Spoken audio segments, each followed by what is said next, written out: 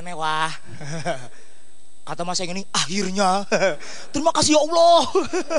Assalamualaikum warahmatullahi wabarakatuh. Boleh minta tepuk tangan buat Hotel Papandayan dong. Aduh, serius ya ini ini hotel mahal. Cuman gue nggak percaya masa ini hotel mahal, kamar mandinya nggak ada gayungnya. Gue mau mandi susah. Pakai apaan coba? Pakai shower, gue pencet-pencet nggak keluar. Itu kan aneh. Gue yang aneh. Harusnya diputar, bukan dipencet.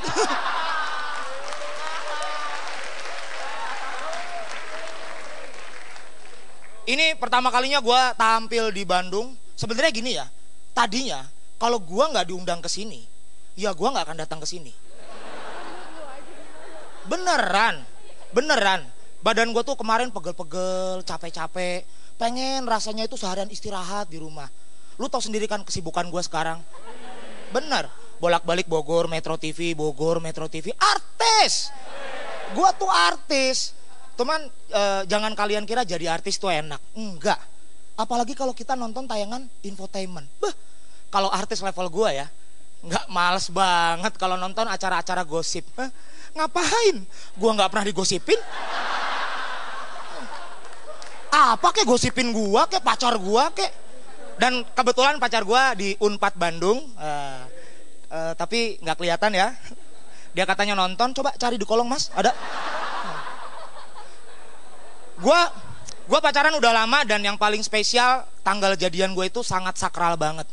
Gua jadian tanggal 26 Desember. Lu tahu itu hari apa? Betul, hari terjadinya tsunami. Dan kalau pacar gua inget-inget, dia suka ngambek ya. Sayang, kamu kenapa sih nembak aku tanggal 26 Desember? Loh, emangnya kenapa? Kenapa, kenapa? Itu kan hari terjadinya tsunami. Emang kamu tahu soal tsunami? Ya tahulah. Nah, cintaku sedahsyat itu. Nggak apa-apa mbak, kalau misalnya mbak digombalin sama pacarnya nggak apa-apa. Itu tandanya sayang, itu tandanya cinta. Mbak tahu cinta itu apa?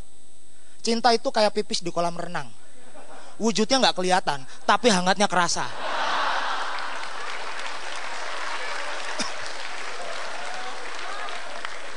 Satu hal, satu hal yang gua seneng banget dari Bandung, bahasanya, bahasa Sunda Bandung itu lemes banget ya.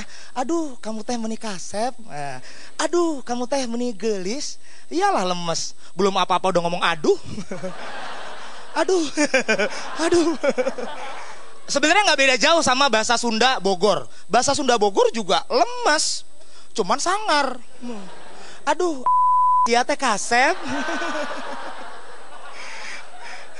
Tapi memang geliat bahasa di Indonesia itu banyak loh, banyak.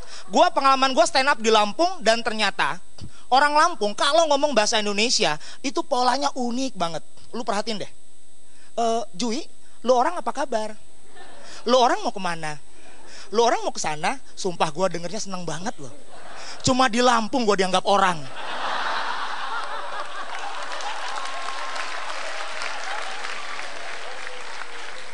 Lagian lu orang, lu orang. Emangnya gua apaan? Ganggang hijau. Gua gua cuman khawatir nih misalnya ada misalnya ada orang Lampung yang kesurupan. Eh bukan kesurupan. Misalnya orang Lampung ngelihat setan ya. Misalnya apa ya pocong. Itu reaksinya pasti kayak gini. Aduh. Astagfirullah. Pocong, pocong. Lu orang jangan ganggu. Lu orang jangan ganggu. Itu pasti pocongnya kesel banget ya. Hmm, gua emang pocong. Lagian pocong dibilang setan. Kasihan pocongnya. Dia kan jadi nggak pede. Pocongnya jadi bimbang. Lu emang mau lihat pocong bimbang duduk di ayunan sambil merenung?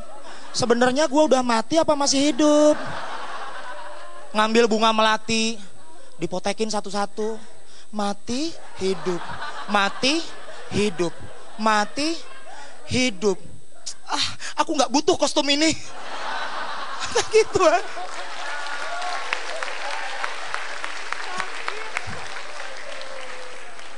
Di sini ada yang pernah lihat pocong? Gua kemarin tuh pas tapping di Metro TV gua lihat pocong. Sialan tuh pocong. Ketemu gua nggak nyapa. Lu kalau ketemu pocong nggak usah takut. Serius, lu kalau ketemu pocong, bentak aja. Eh, pergi lu. Lu pocong apa bukan?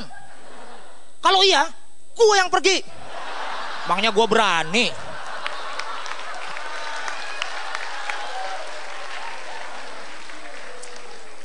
Gue pernah waktu itu pengalaman stand up di Padang. Yang paling spesial dari Padang itu apa? Kulinernya. Rendang di Bogor sama rendang di Padang itu beda. Pokoknya gini, kalau lu makan rendang di Padang, beuh, Padangnya kerasa banget. Kuahnya dikit, pelit. Bener-bener Padang nih.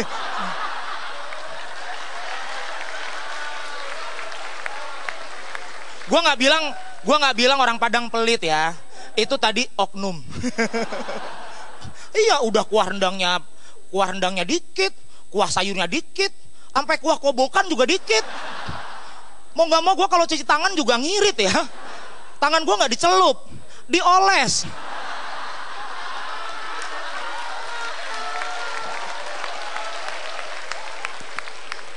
Dan gue seneng banget ya, gue bangga jadi orang Bogor. Uh, di Bogor itu Gua kadang-kadang suka kesel sama orang Jakarta yang datang. Dia suka bilang kayak gini, banjir yang terjadi di, di Jakarta sekarang itu gara-gara air kiriman dari kota Bogor.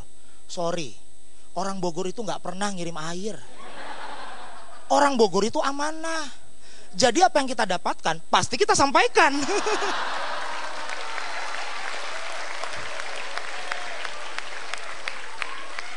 Gua dari SD sampai SMA uh, di Bogor gue lulusan SMA tahun 2005 gue sampai sekarang masih datang ke SMA loh biasa alumni kalau ketemu guru pertanyaan guru tuh standar banget standar banget uh, hei nak sekarang kamu masuk mana masuk UI bu kamu masuk mana uh, masuk UGM bu nah kalau Jui masuk mana gue harus jawab apa coba masuk TV itu kan sombong banget Beneran. Sama kayak angkatan-angkatan gue tuh kalau udah reunian ya itu pasti sombong. Mereka mentang-mentang udah pada sukses ya. Eh bro, gaji lu per bulan sekarang berapa? Oh 10 juta. Oh 15 juta. Sorry, kalau gue, gue orangnya rendah diri loh.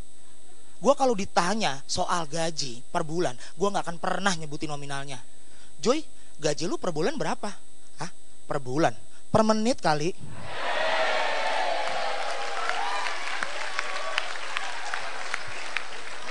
Temen gue langsung malas ya, ah lu mah sombong cuy. Sekarang mentang-mentang udah jadi artis. Eh enggak, gue nggak sombong. Lu yang sombong.